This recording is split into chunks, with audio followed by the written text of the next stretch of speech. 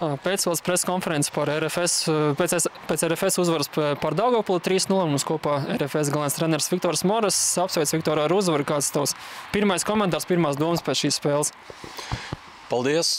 Arī apsveicu visus mūsu līdzjutējus ar uzvaru. Kā vienmēr gatavamies ļoti nopietni spēlē un zinājām, ka nebūs viegli. Iepriekšējā kārta šeit Daugavpils ļoti pārliecinoši apspēlēja Rīgu, tāpēc zinājām, ka tas ir vienmēr tāds e, grūts, grū, grūti mači šeit un gatavojamies, lai pēc iespējas labāk būtu rezultāts galu galā. Jā, domāju, ka mums izdevās. Daudz kas ne, neļāvam daudz izveidot pretiniekam kaut ko pie mūsu vārtiem. Uh, Nebija arī daudz iespēju mums, bet domāju, ka labi spēles periodi bija, kad mēs, mums izdevās bumbu, ar bumbu spēlēt pa zemi, kontrolēt un visas tās iespējas, kuras mums bija, bija arī pēc tādam epizodēm, kad mēs kontrolējam bumbu, kad mēs e, labi pārkārtojamies un līdz pēdējai piespēlei bumbu iegādājām soda laukumā. Vēlreiz svarīga uzvara un ļoti priecīgi esam par to. Tikko bija uzvara Latvijas klases finālā, bet laikam tie visi faktori. Daugopils uzvara pār Rīgu 3-0. Tas, ka jums ar Daugopili pašas ļoti smagas spēles, ir Daugopilī grūti spēlēt. Laikam īpaši daudz uztraukties par, par motivāciju, par noskaņošanos nebija vai ne pirms šīs spēles? Nē, nebija.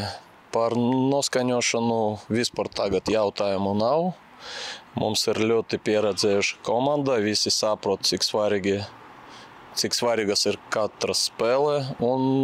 Tāpēc domāju, ka pat atnākot šeit, es zinu, ka daudziem leģionāriem ir problēmas ar motivāciju, bet šodien to es vispār neredzēju. Jau teicu, ka nebija ļoti daudz vārdu gūšanas momentu komandai. Var teikt, ka vairāk no, no rezultātu nospēlējāt, ņemot vērā, ka agrus vārtus guvāt. Vai arī bija gaidīts, ka tāda spēle arī varētu būt ar maz momentiem, arī pie 0-0? Mēs gaidījām to, ka būs gru, grūti uzlauzt pretinieka aizsardzību. Jā, mēs zinām, ka vienmēr šajā laukumā ir problēmas ar bumbas apstrādi, ar kontroli. Jā, un ir daudz cīņas, un ja ir tā cīņa, tad pretiniekam ir priekšrocība, jo viņi to gaida, viņi to grib. Jā, mēs gribam vairāk kad mums ir bumba, necīnīties. Cīnīties tikai situācijas, kad esam bez bumbas. Un uh, mēs nespēlējām pēc rezultāta. Jā, 1-0, gribējām otros, trešos iesist, lai nebūtu tāda nervozitāte, kā bija tā, piemēram, pret Spartaku, kad bija 1-0 un mēs spēlējām e, tā vienkāršāk aizsardzība, bet jebkura gadījumā sapratām, ka pretiniekam būs iespēja Jā, mēs gribējām, lai ja tā iespēja būtu, tas būtu pie rezultāta labāka priekš mums. Lielākais pārsteigums sastāvā laikam bija vārdsargi izvēle. Ženja to nopelnīja ar kausa finālu. Jā, pilnīgi pareizi. Kausa finālā viņš spēlē, parādīja ļoti lielisku spēli. Jā, tāpēc arī, nu, protams, zinām, ka viņš ir e, no Daugavpils. Viņš ļoti labi saprot šo laukumu. Jā, tā arī ir spe specifika, pie kuras mēs domājam, komplektēt sastāvu šai spēlē. Um, Lipušķeka nebija, Pika nebija pieteikumā, Elvis Tuglis uh, tika nomainīts. Tas pirmkārt bija traumas dēļ vai uh, cits iemesls, un kāda varbūt situācija ir ar, ar Artūru un, un, un Žigu?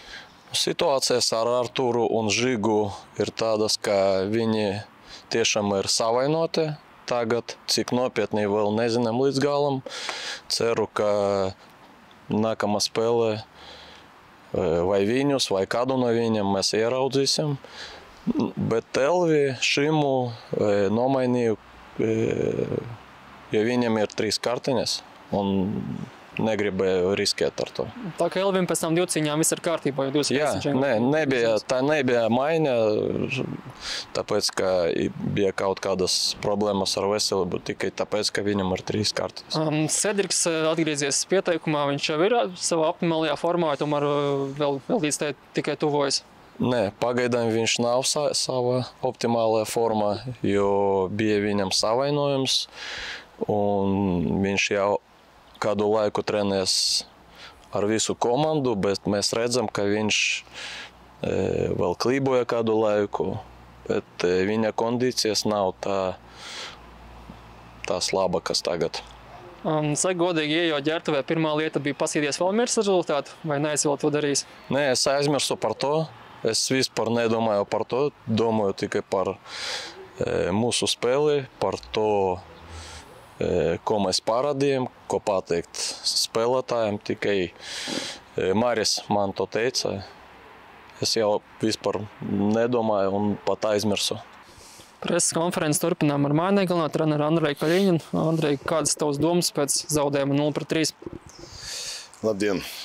Principā pirmas divas trešdaļas spēlējām normāli. Ja, bija struktūra, nebija daudz momentu pie mūsu vārtiem. Tikko daudz vispār nebija. Jā, bija tur eh, vārti un eh, vēl viens moments. Un, principā spēlējām eh, normāli aizsardzība. Jā, un, kompakti, viss bija kārtībā. Ja, bija uzbrukumi, uzbrukumi un tā skatāmies uz, uz laukumu un domājam, ka varam iesiet.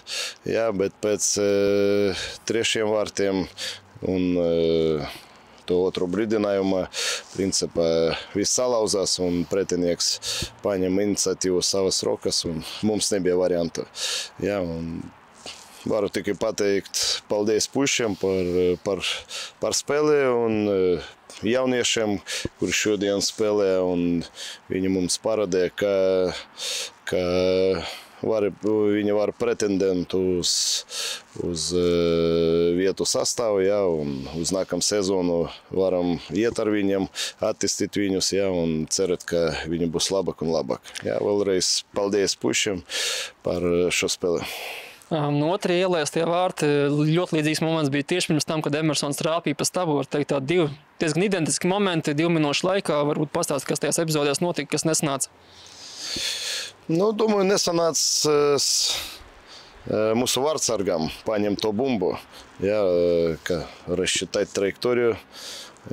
Jā, un priekš man tas ir, nav nekādas tragēdijas tajā epizodē, jā, tāpēc, ka Vārtus bija jaun, jaunais, jaunākais vārdsargs, jā, ja mēs gribam izaugt uh, jaunu vārsargu, nu, mums jāgaida un uh, momenti būs. Ja, un, uh, tādi momenti, kā bija. Ja, nu, tas ir mūsu darbs. Ja, un, Praici ar viņu, ar viņu to, un viņš attīstās tajos momentos, tajos spēlēs. Ja. Tas ir jaunieši. Man kā trenerim nu, nav nekāda katastrofa. Jaunieši aug caur kļūdām, vai ne? Ko? Jaunieši aug caur kļūdām, vai ne? Nesaprotu. Jaun, jaunieši augst caur šādām kļūdām, no tām mācoties. Jā, jā, tieši tā.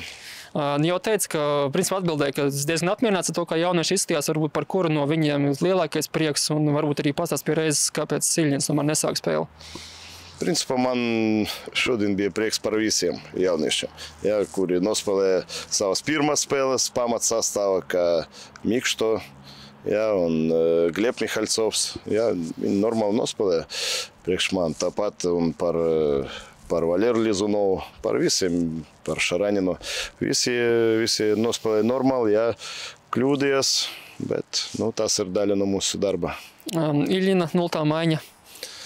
Nu, viņš sajūta, sajūta sapes sildīšanas laikā, un mēs uztaisījām, kā tā, nulles maiņu. Ja. Um, Vakardien viņš neko mums neteica. Jā, tikko sildīšanas laika viņš teica, ka, ka sajūta sapes cirksni. cirksni jā. Jā, un mēs pamanījām viņu. Jā. Andrejs Kovaļovs Delī neizgāja, ko Deļkina nebija pieteikumā. Nu, pastāst, kāda ir viņam situācija? Uh, Kudelkins, Kudelkins vēl joprojām ir traumēts. Jā, un eh, Ola. Ola un Kovaļovs. Jā, Kovaļovs eh, nespēlēs līdz sezonas galam. Viņam kaut kādas problēmas ar, ar muguru. Jā, la, kādu dienu laba, kādu dienu ne, bet nu, mēs redzam, ka viņš nespēlēs līdz eh, sezonas beigām. Ola, tas, ir, tas bija rotācija. Eh, Mēs gribējām dot eh, iespēju sev parādīt Marekam Mikšto.